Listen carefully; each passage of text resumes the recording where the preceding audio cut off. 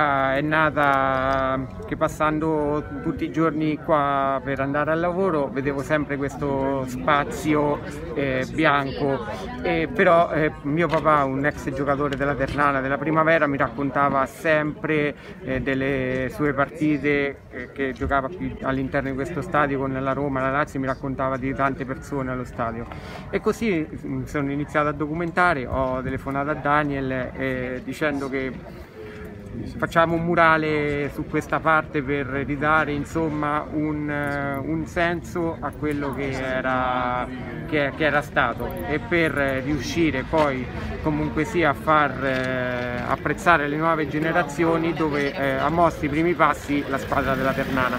Sì, allora è importante che però venga detto che non è solo merito mio. Certo. Qui c'è una delle ragazze, Sofia. Piacere. E, e anzi, se non fosse stato per eh, le mie allieve, eh, tutto questo non sarebbe potuto essere fatto.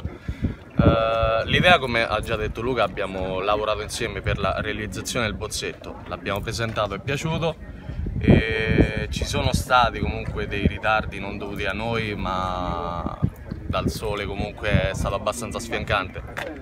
Da due settimane ci dovevamo mettere, ci abbiamo impiegato un mese, però pensiamo di aver fatto comunque un, un buon lavoro. Poi capitava che gli operai delle acciaierie entravano, uscivano altre persone e loro ci hanno dato molto sostegno, e, anzi a volte si formavano anche dei cori per eh, invogliarci a dare il meglio di noi. La fase più delicata è sempre l'inizio.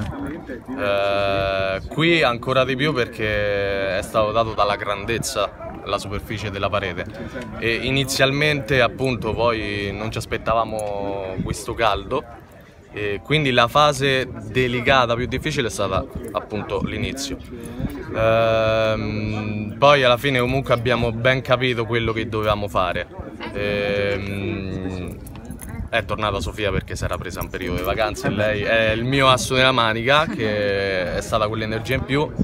E abbiamo terminato lunedì, lunedì sera verso le 7 Beh. il messaggio comunque questo non deve essere più che altro una vetrina per ciò che noi siamo riusciti a fare ma più che altro un, un simbolo per i Ternani per ciò che tutti quanti noi possiamo riuscire a fare